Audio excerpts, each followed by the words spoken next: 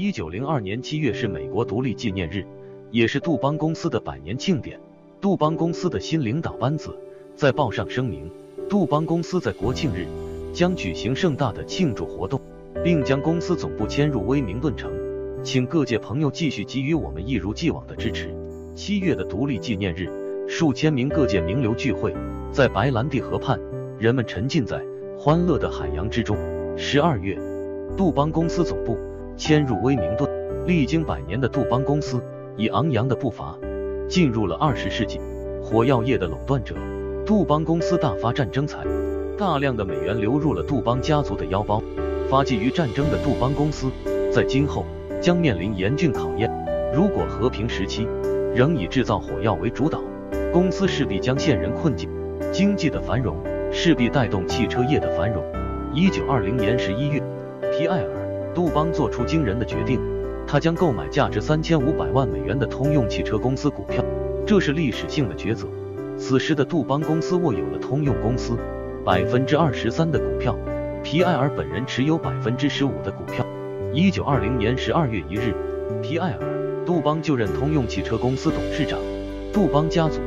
正式成为美国汽车业新的霸主。杜邦家族从此开始实行多元化经营战略，在进军汽车业的同时，对用途极广的民用化工产品也开始涉足。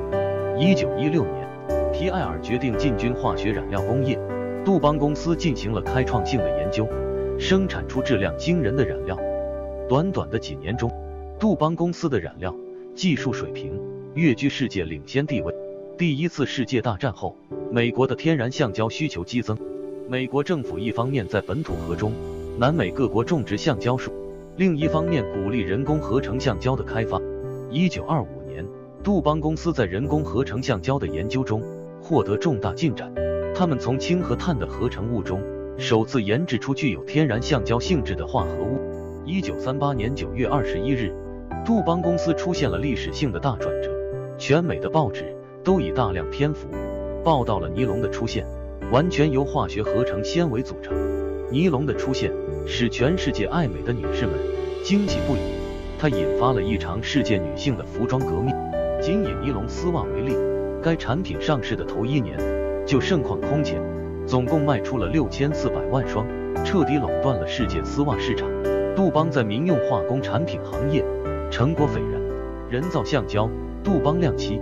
人工纤维、塑胶。尼龙等一系列新产品的问世，深刻地改变了世界化学工业。这个昔日的军火代王，今日已成为领导世界化学工业新潮流的先锋队。经历了两百年的风雨沧桑，庞大的杜邦帝国